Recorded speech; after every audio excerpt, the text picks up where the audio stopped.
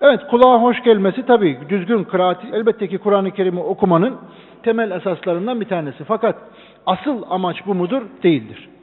Asıl birinci önceliğe bizim her zaman Kur'an-ı Kerim'i anlamayı koymamız lazım ki eğer anlamı birinci sıraya koyduğunuz zaman e, bu şekilde makam, ses, sedanın ne kadar ikinci sırada olduğunu kavrayabiliyoruz rahat bir şekilde.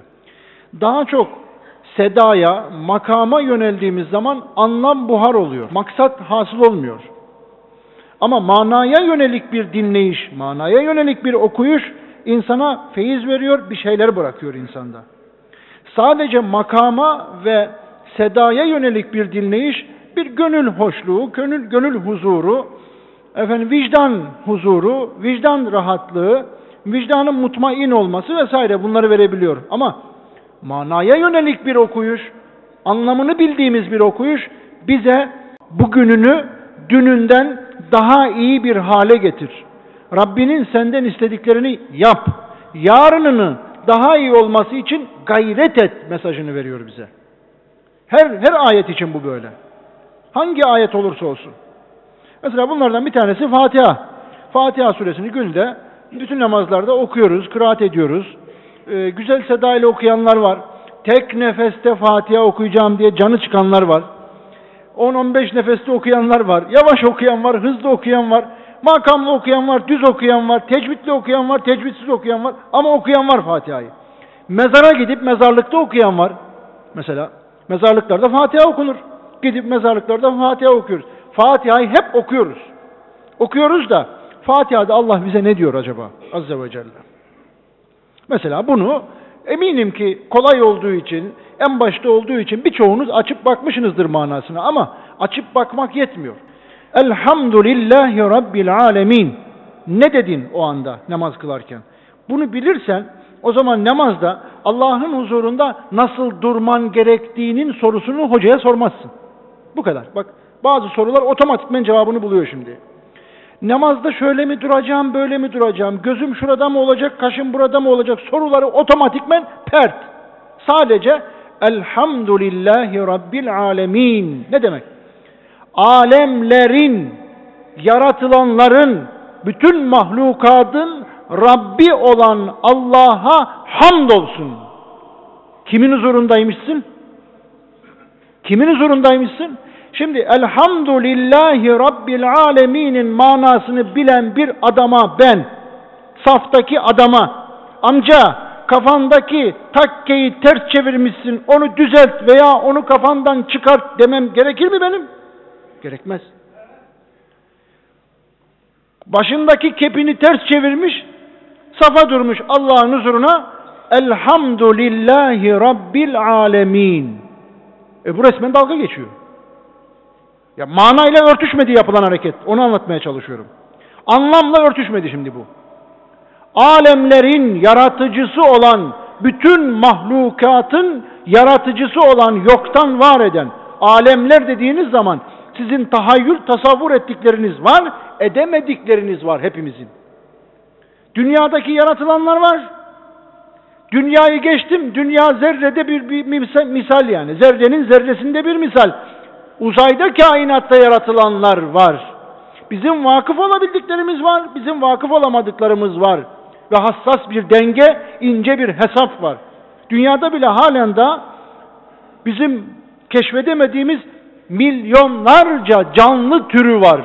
Bunları yaratan, bunları düzene koyan, bunları bir düzen, nizam, intizam içerisinde yaratan, yoktan var eden Allah'ın huzurundasın Elhamdülillahi Rabbil Alemin diyorsun. Ya bunu bir Müslüman kavrasa var ya, bunu bir Müslüman anlasa var ya, öyle bizim kıldığımız gibi namaz kılmaz. Bizim kıldığımız gibi namazların tamamı cehaletten kılınıyor. Cesaretten değil, cehaletten kılınıyor.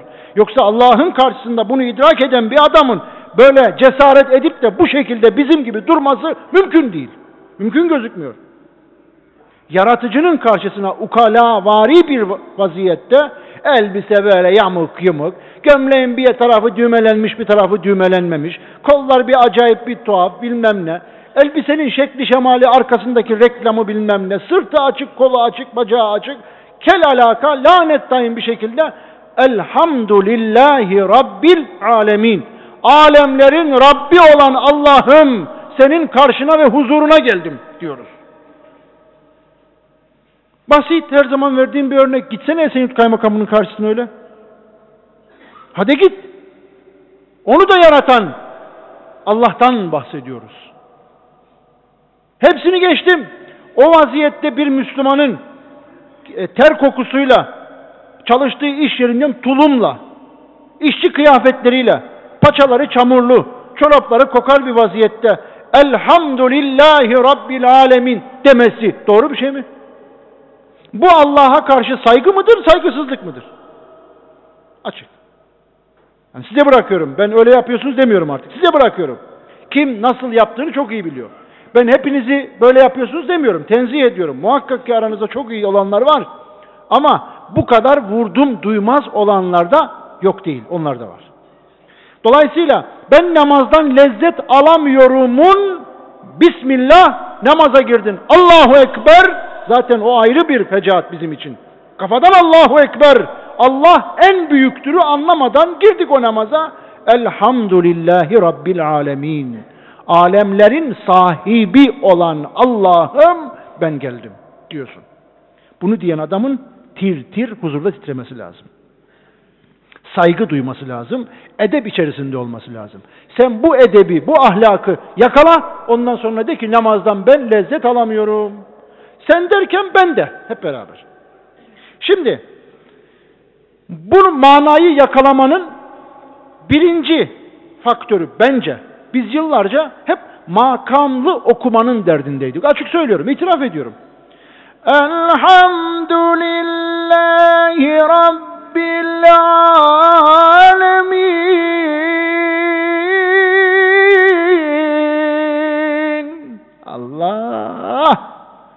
Arkadaki cemaatte, hocam Kabe'ye gittik, şuraya gittik, buraya gittik. Hiçbir yere gitme gitme. Ne dediğine bak. Hocam böyle okumak suç mu? İyi anlayın beni. Suç değil. Manayı götüren, manayı uçuran her şey, mananın önüne çıkan her şey benim için mevlidi şerif gibidir. Bu benim benim kanaatim bu. Benim gördüğüm, benim izlediğim yıllardır sizin önünüzde namaz kıldırıyorum. Ben namaz kıldıran, kılan bir insan olarak benim söylediğim, benim kanaatim bu. Ben böyledir, böyle bir bir alemin sözüdür, bir ayettir, bir hadistir demiyorum. Manayı uçuran, kaçıran her türlü okuyuş namazın dinamiğine, namazın ruhuna aykırıdır. Mana ön planda olacak. E bunu nasıl başaracağız hocam? Bilmiyorum. Başaracağız. Zaten bildiğimiz ne var? Fatiha var. İnna atena var. Kulü ve var. Başka bir şey var mı? Onlarla kılıyoruz da aşağı yukarı çoğunluğumuz. E ya üç tane surenin manasını bilemez mi bir insan ya? Ya kredi kartı kullanmanın talimatlarını biliriz. Arabanın yağı nasıl değişir onu biliriz. Ne bileyim. He, bilmediğimiz şey yok. İşimize gelen her şeyi biliriz. Yani bir iş yerinin mevzuatları bilmem ne vizyonu şey, hepsini biliriz. Nasıl davranmamız gerektiğini biliriz. Şartlarımızı yani işimize gelen şeyleri biliyoruz ya. Biz bizeyiz burada. Yabancı yok ya. İş, biz bizeyiz. İşimize gelen çok şeyleri biliyoruz. Bileceğiz. Fatiha'nın manasını öğrenin. Samimi söylüyorum öğrenin. Yani her namazda okurken de o mana böyle arkadan bir gelsin. Bak bakayım bir daha bu kıldığımız gibi namaz kılabiliyor musunuz? Elhamdülillahi Rabbil alemin. Alemlerin Rabbi olan Allah'ım, alemlerin Rabbi olan, alemlerin sahibi olan, beni, seni, onu, bunu, şunu, bütün mevcudatı, makrodan mikroya ne varsa her şeyi yaratan, her şeyin sahibi, her şeyin maliki, her şeye hükmetmesini bilen, her şeyi rızıklandıran Allah'ım sana hamdolsun. Yaratıcının hakkını veriyorsun. Bilerek bunu söylüyorsun. Allah'ım ben senin alemlerin Rabbi olduğunu biliyorum Allah'ım. Bu bilinç içerisinde bunu söylersen Allah'ı takdir ediyorsun. Allah'ı tesbih ediyorsun. Bilmeden söylediğin 40 milyon Subhanallah'tan daha iyidir. Anlamadan, idrak etmeden söylediğin 100 milyon adet bilmem kaç bin küsurat böyle rakamlar, hesap makineleri, zikir matiklerle söylediğin binlerce zikirden daha hayırlıdır. Anlamını bilerek, idrak ederek, kavrayarak, hakkını vererek, ne dediğini bilerek söylediğin bir Fatiha. Veyahut da diğer zikirler fark etmez anlamını bildiğin. Ama bilmediklerin sadece telaffuzdan öteye geçmez. Ve bize de fayda sağlamaz. Sağlamıyor zaten yani. Ben bunu iddia etmiyorum. Ortada her şey. Her şey ortada. Yani sağlasa zaten halimiz değişir. Ortamımız değişir. Düzenimiz değişir. Yaşantımız değişir. Ahlakımız değişir. Müslümanlığımız değişir. Kur'an'a uygun bir Müslüman oluruz. İslam'a uygun bir Müslüman oluruz. Ama yok. Adam ruhsatını kaybetmiş. Bana mesaj yazıyor. Hocam diyor ben ruhsatı kaybettim. Ruhsat bulma duası var mı diyor bana ya. Ya arkadaş yani vallahi billahi bu böyle ya. Bugün bugün hocam ben diyor ruhsatımı kaybettim. Bulamıyorum diyor. Bulabilmem için bir dua var mı? Şimdi bu adamın Fatiha'yı bilmesi lazım. Bu adamın Fatiha'yı idrak etmesi lazım ki bu gülünç ve komik duruma düşmesin bu adam. Bu adam özelinde anlatıyorum ama hepimizin böyle hataları var. Hepimizin böyle yanlışları var. Dini 13-14 anahtarına çevirdik. Din dediğin şey 13-14 anahtar. Lazım olduğu zaman getir oğlum şuradan bakayım 13-14. Bu olmadı. 11-12'yi getir ya yavrum. Kap 11-12'yi getir. Anahtar takımı din. Böyle. Oraya uymadı. Bu buranın değil. O bir öbür duayı getir. Heh, bu dua buranınmış. Açıldı. Açtık vidayı çözdük. Bu mantıkla gidiyoruz. Kavramak, kavramak. Dini anlamak. Rabbimizin bizden istediğini anlamak, idrak etmek bu mühim. Bunu anladıktan sonra eksik kıldın, yarım kıldın, noksan kıldın, şunu yaptın, bunu yapamadın. Bunlar inanın o zaman mühim değil, Allah affeder. İşte o zaman Allah affeder ama. Yani sen işin özünü yakaladın. Sen Rabbinin hakkını verdin. Sen yaratıcını Allah olarak bildin. Rabbin olarak tasdik ettin. Rabbin olarak takdir ettin. Çok önemli.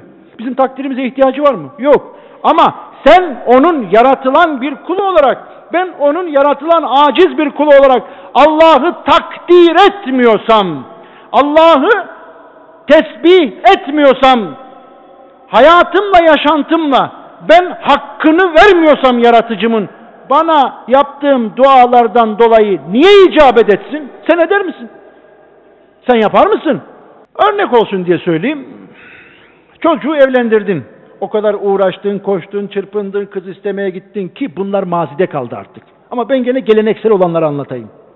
Gittiniz kızı istemeye, anlaştınız, konuştunuz, bilmem ne falan, takılar, şunlar, bunlar, masrafları bölüştünüz falan derken e, kızı istediniz, nişandır, düğündür, dernektir falan geçti derken oğlunuzu evlendirdiniz. Oh be bir sorumluluk, bir yükümlülük daha omuzumdan kalktı. Oğlumu evlendirdim dediniz. Siz bu çocuğu 20 yaşına 25 yaşına 20 sene öncesinden bahsediyorum ha 20 yaşına 25 yaşına diyorum. Şimdi 30 yaşından itibaren başlıyor evlilikler. Onlar ayrı bir sıkıntı. 20 yaşına 25 yaşında oğlunuzu evlendirdiniz. Oh be büyük bir sorumluluk, yükümlülük omuzlarımdan kalktı dediniz. Rahatladınız. Sıkıntıdan kurtuldunuz. Varsa başka çocuk şimdi onlara odaklandınız. Onları evlendireceksiniz diye düşünüyorsunuz. Gel zaman git zaman aradan 10 gün 15 gün geçti. Çocuğunuzu ziyarete gidiyorsunuz. Eve girdiniz. O babacığım hoş geldin filan oturdun muhabbet ediyorsunuz. Ne var ne yok iyi şu bu filan. Baktın ya oğlum şu terlikler şuraya olmadı. Misal. Veyahut da ya şu dolap buraya yakışmadı. Şu halı burada olmadı. Bunu kaldır. Şunu şöyle yap. Bak böyle yaparsan daha iyi olur filan gibi bir şey dedin sen orada. Bir akıl verdin. Bugüne kadar verdiğin akıllarla 20-25 yaşına kadar adam ettiğin oğluna bir akıl verdin. Niye? Onların yine saadeti, mutluluğu, faydasına olan bir akıl verdin. Orada oğlun kalktı sana dedi ki onuruna yediremedi delikanlı. Artık evli ya adam olmuş. Kalktı sana dedi ki baba baba artık sen haddini hududunu bil. Ben evli farklı bir adamım. Bundan böyle öyle onu yap bunu yap. Aa, bu bana gelmez. Sen şimdi yaşlandın. Tabiri caizse miadın geçti. Sen artık bu işleri anlamazsın. Sen bu işleri anlamazsın. Sen git camiye, camiden eve, evden hocaya musallat ol sen. Hocayla uğraş. Sen git hocaya musallat ol. Sen bizim işlerimize karışma baba. Sen anlamazsın bu işlerden dedi sana. Sen bu işlerden anlamazsın dedi sana. Ne yaparsınız? Hoşunuza gider mi bu? Aferin oğlum la. Sana helal olsun be. Sana helal olsun. Gelinimin yanında beni ne güzel madara ettin. Ya ne yaparsın? Hoşuna gider mi bu? Bak ne yaptı çocuk? Evladın ne yaptı? Seni takdir etmedi. Evladın ne yaptı? Senin kıymetini bilmedi. Evladın ne yaptı? O güne kadar yapmış olduğun hizmetlerinin tamamını elinin tersiyle itti, seni paçavra gibi kaldırıp attı bir tarafa. Şimdi bu senin hoşuna gider mi? Gitmez. Seni anne karnında yarattı. Seni anne karnında rızıklandırdı. Dünyaya getirdi. Dünyada rızıklandırdı. Yok anam yedirdi, babam yedirdi. Hikaye, ananı babanı da yarattı o. Seni rızıklandırsın diye onlara uğraş verdi, akıl verdi, izan verdi, bilinç verdi. Nereden bilecekti bunları? Seni hayvan olarak, seni ot olarak yaratmadığından bile Allah'a karşı bizim bir sürü şükrü borcumuz var. Bir sürü. Sonsuz bir ot parçası olarak da dünyaya gelir giderdik. Böyle bizi yaratan, bizi bu sıhhatli yaşımıza kadar getiren Elhamdülillahi Rabbil Alemin. Alemlerin Rabbi olan Allah'a karşı 30-40 yaşına gelince Ya Rabbi sen anlamazsın bak bu işler böyle döner dediğin anda istediğin kadar zikir yap, istediğin kadar namaz kıl, istediğin kadar oruç tut, ağzınla Kur'an'da tutsan sen bir hiçsin Allah'ın karşısında. Sen Allah'ı takdir etmiyorsun. Allah'ım bu zamanda senin dediğin gibi olmaz. Meyline gittin mi? Yani bu zamanda da bu Kur'an'ın hükümleri kafasına yattın mı? Veyahut da sen işte namazda ya bu zamanda bu çağda işte olacak iş mi falan dedin mi? Buna meylettin mi? Veya sen Allah'ın karşısında ciddiyetini ve vakarını kaybettin mi? Allah'ın seni her an görüp gözettiği şuurunu ve bilincini kaybettin mi? Sen Allah'ın seni yoktan var ettiği bilincinden uzaklaştıysan otur şimdi 30 bin 40 bin zikir çek. Anlatabildim mi? Yani kalp kırıldı. Allah'a karşı büyük bir hata yapıldı. İşte o hataların telafisinin en baş ayetlerinden bir tanesi. Bir, onun için beş vakit namazda namaza girdin Bismillah, Elhamdülillahi Rabbil Alemin. Bunu bileceksin diyor. Bunu bileceksin. Seni buraya ben çağırdım, seni huzuruma ben davet ettim, teslim oldun, ellerini kaldırdın, ellerini bağladın. Elhamdülillahi Rabbil Alemin alemlerin Rabbi olan Allah'a hamdolsun. Kimin huzurundasın? Kimin kulusun? Seni buraya kim getirmiş? Huzuruna kim kabul etmiş? Bunun bilinci içerisinde olacaksın. Öyle Kur'an-ı Kerim'in daha Fatiha'yı bitiremedik ha elhamdülillah Rabbi. Hoca iki dakikada kıl da gidelim. Modunda kıldığımız namazlara gelin şimdi. Evde takla atarcasına kıldığımız namaz. Adam öyle bir secdeye gidiyor ki neyse yuvarlanıp bir tarafa gidecek. O kadar çabuk çabuk. Paldır güldür üstüne şapi iniyor secdeye ki. Çabuk çabuk secde. Kıldığımız namazlara gelin şimdi. Şimdi bu namazla bu bahsettiğim şekilde bilinçli bir namaz arasında dağlar kadar fark var. Bilinçsiz usul, aerodinami böyle ne bileyim hareketlerle, şekillerle, suretlerle kıldığımız yüzlerce, binlerce rekat namazdan daha iyidir bilinçli olarak Allah'ın huzurunda iki rekat namaz kılmak.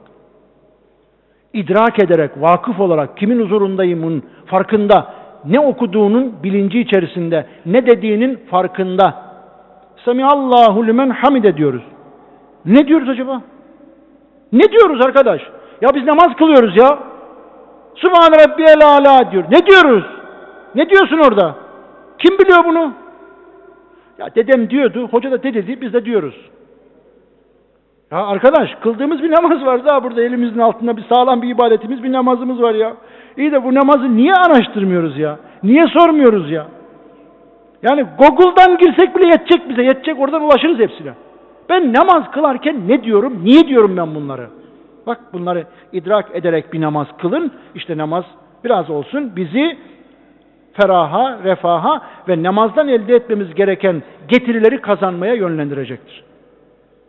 Bitmez. Alemlerin Rabbi olan Allah'a hamd bitmez. Elhamdülillahi Rabbil Alemin bitmez. Ömrümüz boyunca, yaşımız adedince, saati dakikası boyunca hamd etsek verdiği rızıklara, nimetlere, verdiği lütuflara bitmez. Ama onun affına sığınıyor, geçiyoruz bu ayeti. Şurada birisi size bir tane 13 megapikselli bir kamera verse ömür boyu unutmazsınız onu. Birisi böyle bir şey yapsa size ne yaparsınız? Unutur musunuz onu? Unutmazsınız değil mi? Yani benim ihtiyacım olmadığı halde bir heyecanlandım yani. Nereden baksan bir iki milyar gene ya iyi para. Niye olmasın ki? Size böyle birisi bir hediye verse unutur musunuz? Unutmazsınız. 16 megapiksel kamera. Oo çok iyi filan.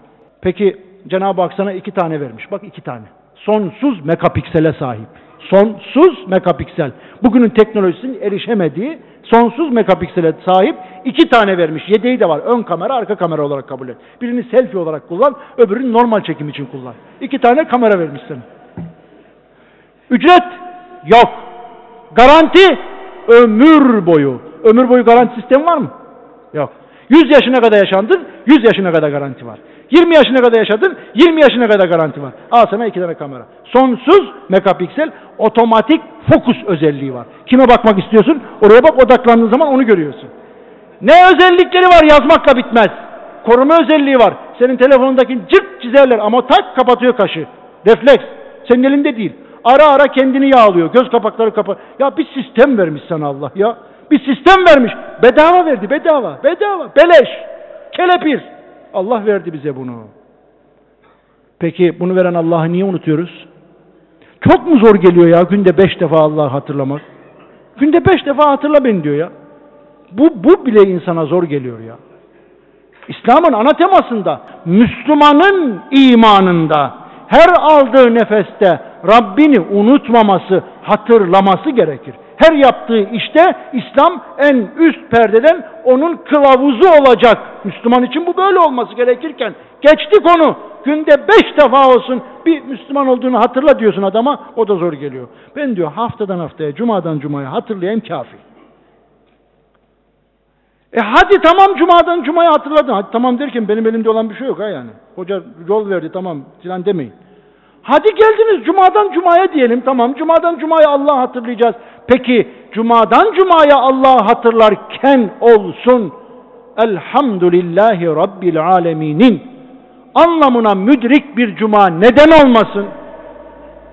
O da öyle işte ucundan biraz bir cami modunda olursa biz nasıl toparlanacağız? Yani biz nasıl Allah'tan bir şey istediğimiz zaman Ya Rabbi ben şunu şunu şunu istiyorum senden. Ne yüzle diyeceğiz? Bak şimdi dualar neden kabul olmuyorları anlıyorsunuz değil mi? Namazda nasıl durmamız gerektiklerine alakalı soruları sormanıza gerek var mı? Bir insan karşısında alemlerin Rabbi olan Allah'ı düşünür. Onun huzurunda ben namaz kılmaya geldim. Beni yaratanın huzurunda alnımı yere koymaya geldim. Beni yaratana şükrümü eda etmeye geldim. Beni yaratan, beni rızıklandıran, bana nimetler veren, akıl nimeti veren. Ama elhamdülillahi rabbil alemini idrak etme noktasına geldiği zaman e işte Allah kabul eder. Allah kabul. Kalbimiz temiz, kalbimiz temiz. E bunun hesabını sorar da Allah. Kalbim temiz. Sen niyetin doğru olsun. Yok niyetin öyle olsun. Allah niyetlere göre hareket eder filan. Böyle yuvarlak yuvarlak laflarla sorumluluklarımızdan kaçmak değildir Müslümanlık. Müslümanlık bu değildir. Müslüman böyle olmaması lazım. Müslüman vazifesini müdrik olması lazım.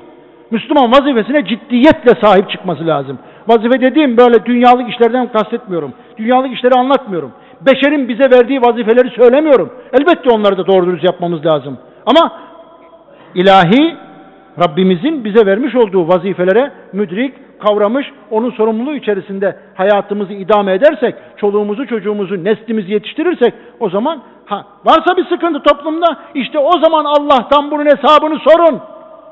Ama bugün bu kafayla, bu yaşantıyla, bu hayatla en çok okunup en çok anlaşılmayan bir kitaba sahip Müslümanların toplumunda yapılan zulümler, haksızlıklar, hakkaniyetsizliklerin hesabını Allah'tan sormaya hiçbirimizin hakkı yok. Neden Allah'ın böyle oluyor? Allah ne kadar gaddar, Allah ne kadar zalim diyemez bir Müslüman. Bunun hesabını Allah'a yükleyemez. Önce bizim Allah'ımızı tanıyıp Allah'ımızın bize kolaylık olsun diye dünya hayatını nizam ve intizama sokalım diye verdiği kuralları önce bizim tanımamız, anlamamız lazım. Anlarsanız o zaman namazı anlama yüklü, manaya yüklü bir şekilde kılarsanız namaz size bir şeyler verir. Hocam namaz kılarken neden Fatiha'da İyyâke nâbudu ve İyyâke nesta'in iki defa diyorsun diyor bana adam. Şimdi manasını açıp baksa bu soruyu sormayacak bana. İhdina sıratal müstakim ne demek? Bilse benim gibi iki defa değil on defa okuyacaksın sen. E namaz bozulur. Bozulmaz. Kim dedi bunu ya? Ya ben Allah'ın huzurundayım ve Allah'a diyorum ki İhdina sıratal müstakim Ya Rabbi bizi sırat-ı müstakime kavuştur Allah'ım. Bir defa diyeceksin. iki defa diyemezsin. Lan niye? Hani dua ederken on bin defa diyorduk. Hani zikir yaparken 40 bin defa demezsen olmuyordu. İlla rakam tutturacaktık hani. Bak gördünüz mü tezatı? Asıl söylenmesi gerekenleri söylerken olmaz. İki defa işte namazın ruhu bozulur. Sen namazın ruhunu kavramazsan namazın ruhunu bozdururlar sana. Böyle şeylere takılırsınız. Şekil şemallerle namazın ruhunu bozdururlar size. Sen namazı kavrarsan namazda Hazreti Ali'nin ayağındaki oku çekerken oku çektiniz mi çıkarttınız mı dediği pozisyonda namaz kılarsın. O zaman Hazreti Ali'nin o vakasını anlarsın o zaman. Yoksa anlayamazsın. Ayağına ok saplanıyor çıkartamıyorlar Hazreti Ali'nin. Çok acıyor canı yanıyor. Diyor ki ben iki rekat namaz kılayım o sırada çıkartın diyor. Ya düşünebiliyor musun? Nasıl namazdayken kendinden geçiyor ki ben namaz kılarken ayağımdaki oku çekin de anlamayayım diyor. Ve ayağından oku çekip çıkartıyorlar. Selam verdiği zaman çıkarttınız mı diye soruyor. Farkında bile varmamış. Siz eğer alemlerin Rabbinin karşısında namaza durursanız dünya yansa umurunuzda olmaz. Biz hep beraber. E hocam sen öyle bir şey anlattın ki o zaman bizim namazların hepsi pert. Hiçbiri olmadı. E boşuna geldik. Bir daha gelmeyelim mi dedim ben. Yok. Ne yapacağız? E bu kadarını yakalayamayız ama birazını ya, uğraşırız da ne kadarını yaparsak. Bak dünyada insanlar ne kadar yaşarsa yaşasın öldükleri günkü İslami çıtaları ölçüdür. Yani dünya hayatı Müslümanı ömrü boyunca şekillendirir, şekillendirir, şekillendirir, şekillendirir, şekillendirir. En son ne noktaya geldiğin önemlidir Allah'ın katında. Onun için Ya Rabbi son nefesimizi verirken kelime-i şehadetle senin rızana uygun. Hadi buyurun. Eşhedü en la ilahe illallah ve eşhedü enne Muhammeden abduhu ve resulü diyerek ruhumuzu teslim al Allah'ım. Onun için diyoruz. Şöyle bir ayağa kalkalım. Varsa imkan safları sıklaştıralım, boşlukları dolduralım. Ezan bitmek üzere herhalde. Hemen bitiriyoruz biz de. Hava soğuk. Dışarıda olan kardeşleri mümkün mertebe içeri alalım. Mümkünse o kırmızı çizgileri geçin. Yani şöyle secde edebileceğiniz kadar yaklaşın.